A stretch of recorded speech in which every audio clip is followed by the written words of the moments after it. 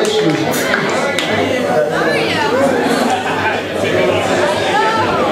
A little more keyboards in the moderator sounds.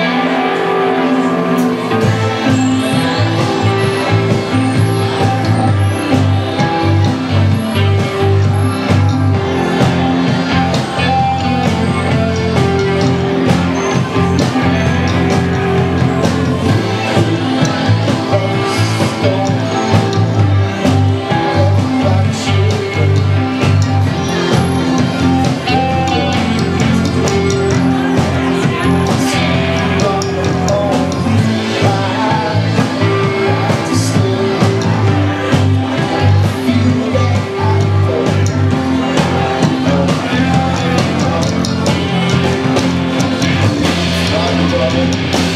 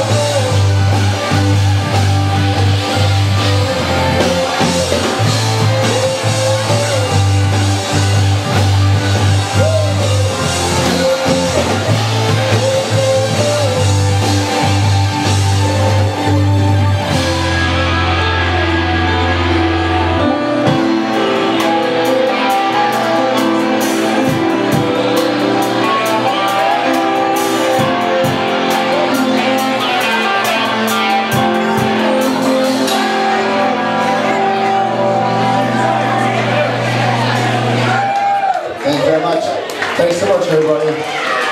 Big ups to Kay.